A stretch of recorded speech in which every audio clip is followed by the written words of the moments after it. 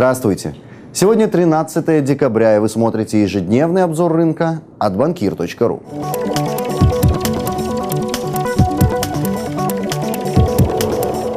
Европейским лидерам так и не удалось укрепить надежду инвесторов на то, что ситуация с долговым кризисом еврозоны близится к разрешению.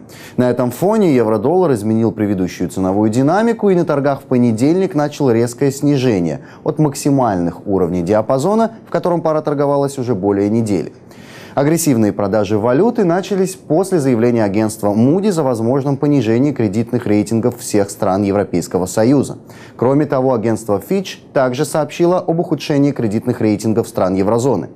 Полученные теперь уже от всех ведущих рейтинговых агентств предупреждения спровоцировали новый сброс единой валюты, в результате которого курс евро понизился от максимального уровня в Азии 1.3376 до минимума на торгах в Нью-Йорке 1.3162.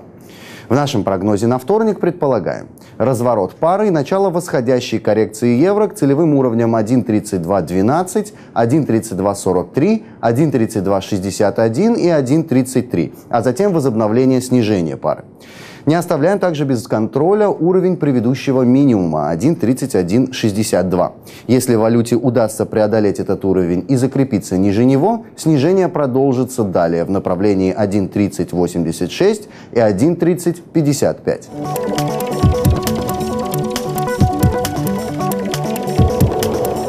Отсутствие конструктивных решений на саммите ЕС, а также предупреждение рейтинговых агентств оказали на азиатско европейской сессиях в понедельник понижательное давление на фунт и вызвали его активные продажи.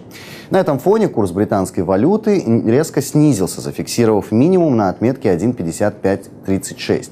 Однако здесь нисходящий импульс ослаб, и курс пары вновь начал восстанавливаться. К середине дня валюта вернулась в утренний диапазон, установив новый максимум на отметке 1.5657. Тем не менее, продолжающееся в ходе торгов падение единой европейской валюты негативно отразилось на ценовой динамике фунта. На американской сессии подъем пары прекратился, а к исходу торгов курс валюты откатился на уровень 1.5582.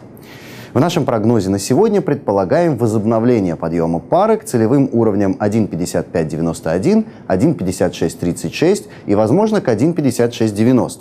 Далее предполагаем разворот и продолжение снижения пары в направлении 1.5573, 1.5536 и 1.5485.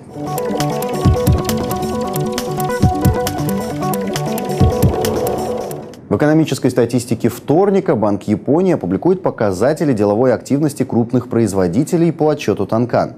В Великобритании будут опубликованы индекс потребительских и розничных цен за ноябрь месяц. Центр европейских экономических исследований, Институт ЗЭВ, представит данные по индексу настроений в деловой среде еврозоны и ведущей экономики региона Германии.